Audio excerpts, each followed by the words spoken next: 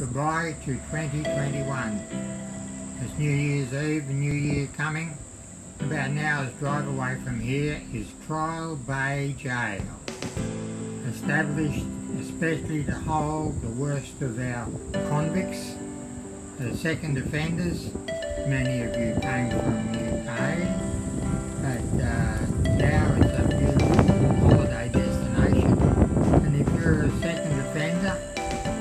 actually not a bad spot to spend uh, a couple of years of uh, being reconciled to your faith and be getting your freedom in this new new land.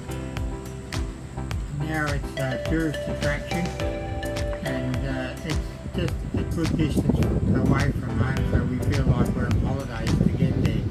But as you come around the jail wall you just see of where they are. Prisoners were sent out to have a swim every day in the ocean just uh, for their cleanliness.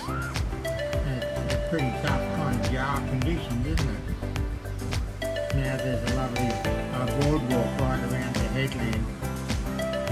We spend the day with friends and family uh, and just had a very beautiful, pleasant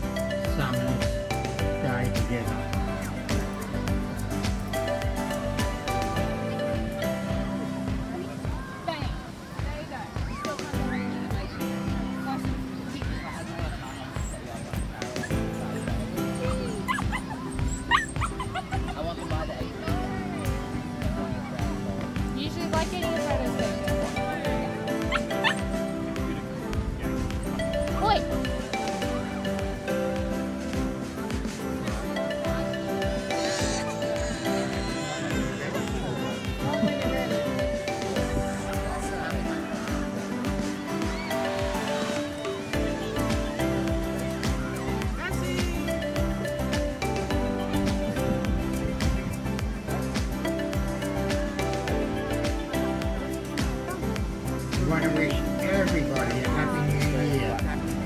Uh, we're beginning the year with a lot more freedom here in Australia, so we're looking forward to uh, those freedoms being wound back uh, across the globe. We certainly had a very turbulent time last year.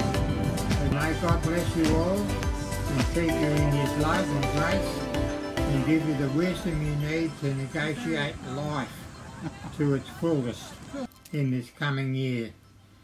Uh, thank you for all our subscribers who have supported us during the year.